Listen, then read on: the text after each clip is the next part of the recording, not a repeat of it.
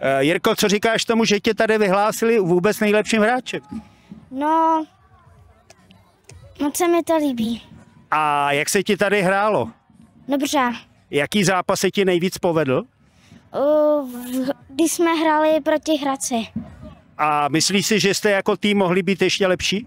Jo, myslím. Na jaké pozici nejraději hraješ? U pravýho útočníka.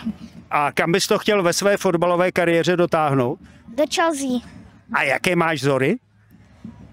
Uh, Ronalda.